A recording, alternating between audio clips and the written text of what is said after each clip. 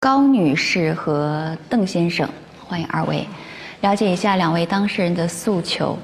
我们是结婚二十八年了，嗯，在这二十八年里，我觉得生活起来是很痛苦的，用痛不欲生来形容不过分，因为我是上门女婿嘛。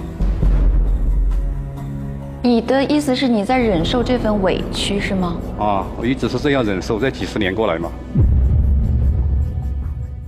我们结婚二十八年嘛啊。看我每一次做什么，就全部都依从他，他还是不满意。我觉得我就过得太累了，就是要离婚。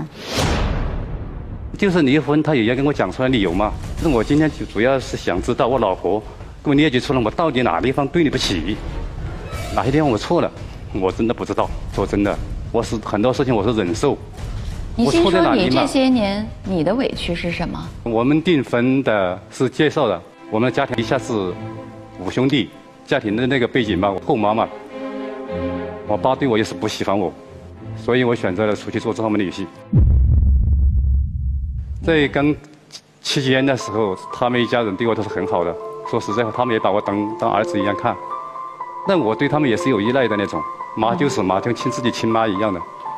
就虽然是上门女婿，可是这家人待你像家人啊。这个是你在你原来的家庭里面找不到的那种感觉，是吗？是的。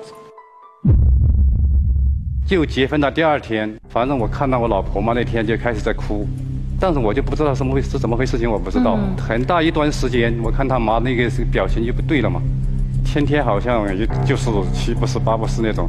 到后来我才知道，嗯，就是因为我们结婚嘛。好像就是没有那种陪嫁嘛，在那个年代里，要结婚出去要陪一点东西出去的那种。是指谁呀？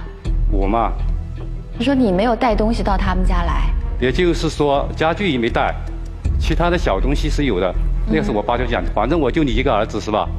我什么东西都是你的，放在这个地方你两边就有家，反正两边肯定都要做嘛。我爸爸一个人不可能不管嘛，所以那个就没拿出去。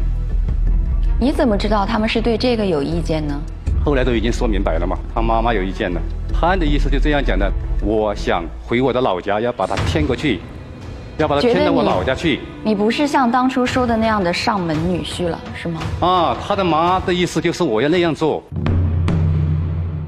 那个时候到大街上去，我记得穿一件棉袄，他妈跑过来要要羞辱我嘛，他说我的手牵在那个地方，牵我的手，我想那个时候还是想挣脱嘛，不想让他羞辱我嘛。嗯。我挣脱，挣脱以后，他就把我那个衣服，把我那个衣袖，那个衣袖嘛提起来，害怕我跑掉，要羞辱我。